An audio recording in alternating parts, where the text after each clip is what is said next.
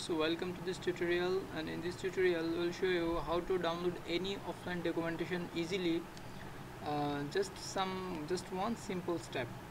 Suppose uh, this you want to download jQuery offline documentation and I will give you the link in the description. Download offline documentation.blogspot.com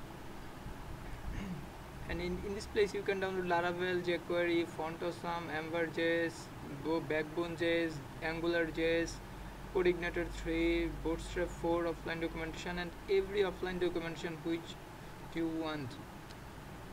And just what is the step?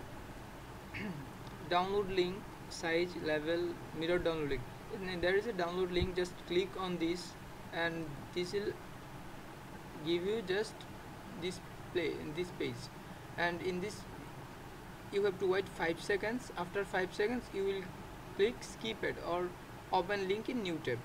Right click and open link in new tab or just click it.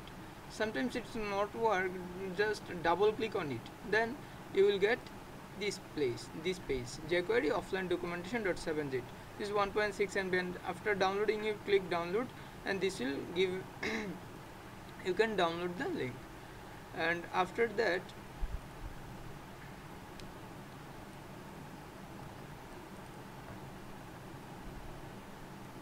jQuery jQuery.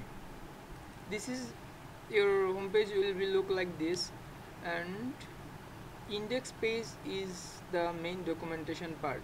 So our open index page jQuery API documentation. This is jQuery offline document totally offline. See this your this is the file this is offline documentation and in this place all of the jQuery jQuery classes jQuery effects you can use this. Animate click on animate and you can use everything of jQuery. And uh, similarly all of the